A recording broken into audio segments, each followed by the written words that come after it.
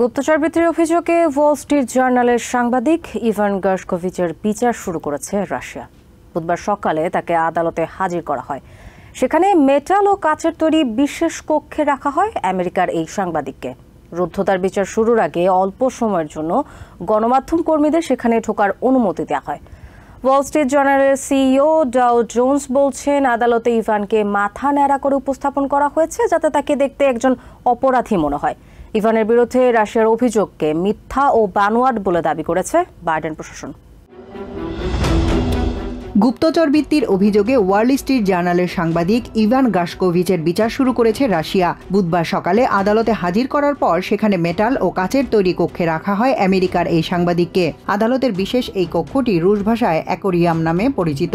ওই কক্ষে তাকে চেক শার্ট ও জিন্স পরা অবস্থায় দাঁড় করিয়ে রাখা হয়। বত্রিশ বছর বয়সী এই সাংবাদিক নিজেকে বেশ স্বাভাবিকভাবে উপস্থাপন করেন আদালতে। রুদ্ধদ্বার বিচার কার্যক্রম শুরুর আগে অল্প কিছু সময়ের জন্য গণমাধ্যম কর্মীদের সেখানে প্রবেশের অনুমতি দেওয়া হয়। এ সময় সহকর্মীদের সামনে হাসি মুখিয়েছিলেন তিনি। তবে একে বিচার না বলে ইভানের প্রতি অন্যায় করা হচ্ছে বলে মঙ্গলবার এক খোলা চিঠিতে জানিয়েছেন ওয়াল স্ট্রিট জার্নালের এডিটর ইন চিফ। চিঠিতে আরও উল্লেখ করা হয়, এ মামলায় ইভানের বিরুদ্ধে কোনো তথ্য প্রমাণ পাওয়া যায়নি। গুপ্তচর বৃত্তির এই মিথ্যা অভিযোগ একজন নিরপরাধ মানুষকে দোষী সাব্যস্ত করবে।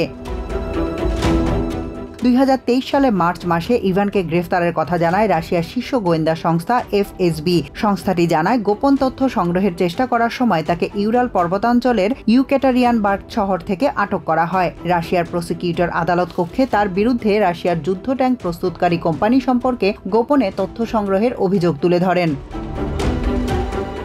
আমেরিকান নাগরিক ইভান বোর্ডুইন কলেজ থেকে গ্র্যাজুয়েশন শেষ করেছেন। রুশ ভাষায় পারদর্শিতার কারণে গত বছরের শুরুতে ওয়াল স্ট্রিটে যোগ দেন এবং অ্যাসাইনমেন্ট নিয়ে আমেরিকা থেকে রাশিয়া যান। শৈশবেই পরিবার সাথে আমেরিকা পাড়ি জমিয়েছিলেন তিনি. তবে এই অভিযোগকে সম্পূর্ণ মিথ্যা ও বানোয়াট বলেছেন ইভান তার নিয়োগকারী প্রতিষ্ঠান ও স্টেট ডিপার্টমেন্ট। তারা বলেন রাশিয়ার পররাষ্ট্র মন্ত্রণালয় কর্তৃক একজন প্রতিবেদক হিসেবে নিজের দায়িত্ব পালন করেছেন ইভান.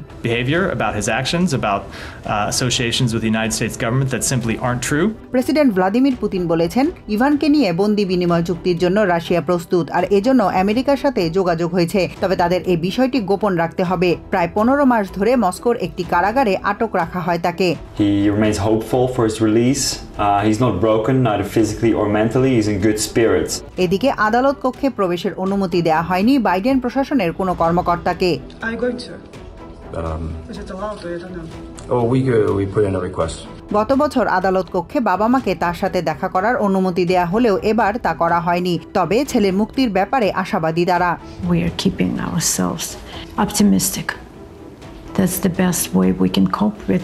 জিম্মি কূটনীতি পরিচালনার জন্য রাশিয়াকে অভিযুক্ত করেছে ওয়াশিংটন, আর এজন্য ইভান ও পল ওয়ানকে তাদের কারাগারে আটকে রাখা হয়েছে। তবে এসব বন্দীদের মুক্ত করে দেশে ফিরিয়ে আনা হবে বলে জানিয়েছে বাইডেন প্রশাসন। রুদ্ধদ্বার এই বিচার কার্যক্রম কয়েক মাস ধরে চলতে পারে। দোষী সাব্যস্ত হলে সর্বোচ্চ বিশ বছরের কারাদণ্ড হতে পারে ইভানের। এদিকে এমএসএনবিসিকে দেয়া এক সাক্ষাৎকারে ওয়ার্ল্ড স্ট্রিট জার্নালের সিইও ডাও জোন্স বলেছেন আদালতে ইভানকে মাথা ন্যাড়া করে এমনভাবে উপস্থাপন করা হয়েছে যাতে তাকে দেখে একজন অপরাধী মনে হয়। ভিন্ন মতের লোকদের সাথে রাশিয়া সবসময় এ ধরনের কাজ করে থাকে তবে ইভানের মুক্তির ব্যাপারে পুরোপুরি আশাবাদী তিনি। Uh. অন্যদিকে ইভানের আইনজীবী জেইসন কন্টি বলেন এ মামলায় এখনও পর্যন্ত নিজের মনোবল অটুট রেখেছেন ইভান। চারশো পঞ্চান্ন দিন ধরে কারাগারে আটক থাকার পরও আত্মবিশ্বাসে ভরপুর আছেন তিনি a strong and determined individual who has an amazing sense of humor. So Tahmina Tasi TVN twenty four news desk